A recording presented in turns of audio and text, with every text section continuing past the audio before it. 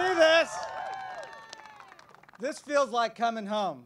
Because we moved up here 17 years ago when my wife Janine got into UC Davis's med school. She's an Aggie. My,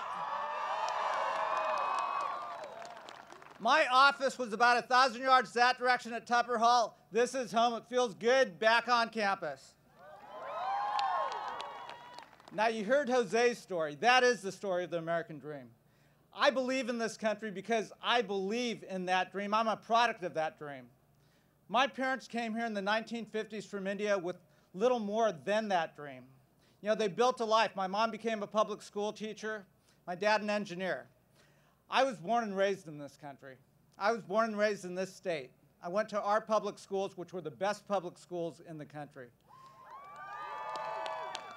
I could go to our community colleges and the University of California system for undergrad and med school and get a great education. I paid $393 a quarter to go to med school. Can you believe that? Work part-time, get student loans, and graduate with less than $10,000 of debt. Now, the reason why I say that is I didn't get here by myself. I got here because this country believed in my parents and gave them, them a chance. I got here because this state and this country made an investment in me. They invested in the next generation. They invested in all of you, and that is what this election is about. That is how we start moving forward by investing in the next generation. But we can't forget the promises that we've made to our parents and grandparents because they built this path for us. And that is the promise to make sure they have the security they need in retirement by protecting Social Security. That is making sure we have the promise of Medicare, so they have the health care that they need when they retire. Now, I can't say this better than one of our greatest presidents. He probably put it best and most succinctly. America, at its core, is an idea. The idea that no matter where you come from or who you are, if you work hard and play by the rules, you'll have the freedom and opportunity to pursue your own dream and leave your kids a country where they can chase theirs. Anyone want to guess who that president was? It was our 42nd president, William Jefferson Clinton, one of our greatest presidents.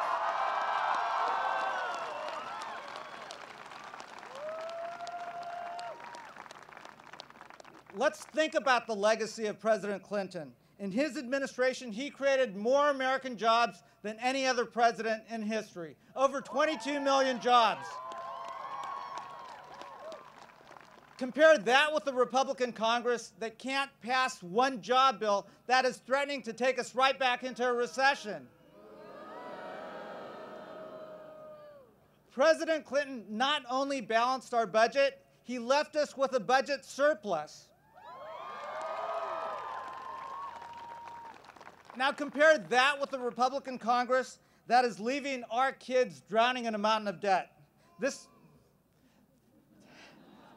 this is a Congress that's taken us into two wars that we didn't pay for. This is a Congress that has given billions of dollars away to Wall Street and health insurance companies. And this is a Congress that wants to raise taxes on middle class families when they're struggling in order to give tax cuts to millionaires and billionaires. It is exactly the wrong direction that we need to go. We need new leadership. Now, I'd be remiss if I didn't tell you who I was running against. My opponent's Dan Lungren, and he's been responsible for all of that. Some of you guys weren't born in 1978, but Dan Lungren first went to Congress in 1978. Dan, Dan Lungren was the Tea Party before the Tea Party existed. Let me just tell you a little bit about him. Dan Lungren has voted repeatedly to take away a woman's right to choose. And he even wants to limit a woman's access to birth control? It's wrong. Dan Lungren has voted to increase interest rates on your student loans, making it harder for you to go to college.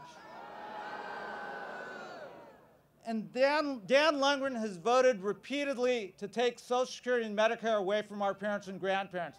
He is the wrong prescription for this country. We can't let them take us backwards. We need to move forward.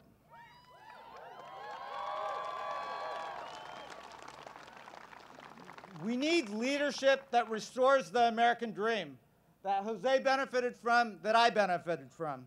We need leadership that is fighting to restore the forgotten middle class because we all know that America is at its best when our middle class is its strongest. And we need leadership that is willing to fight for our individual liberties and our individual freedoms. And that includes a woman's right to choose.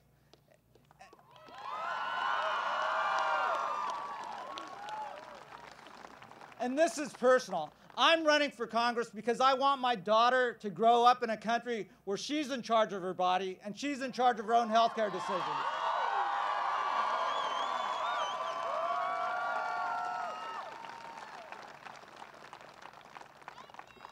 You're welcome.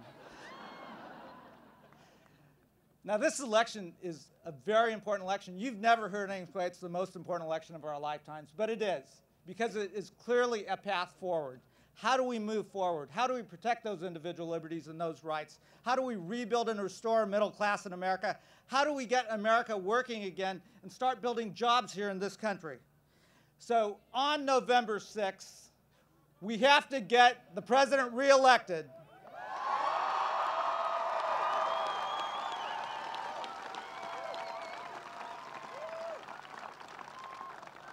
on November 6th, we have to hold on to the Senate. And on November 6th, we've got to reelect Congressman John Garamendi and Congressman Jerry McNerney. And we've got to elect future Congressman Jose Hernandez and Ami Bera.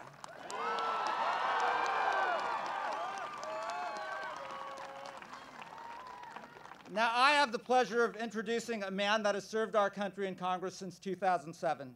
Congressman Jerry McNerney has been an independent voice in Congress. I look forward to serving with him and fighting for the needs of the residents that live here in the Central Valley. No one in Congress has done a better job in fighting for veterans than Jerry McNerney. And I look forward to serving with them on these issues so that we can serve the men and women of our military with the same respect and devotion that they've served us. It is Absolutely. It is my pleasure to introduce Congressman Jerry McNerney.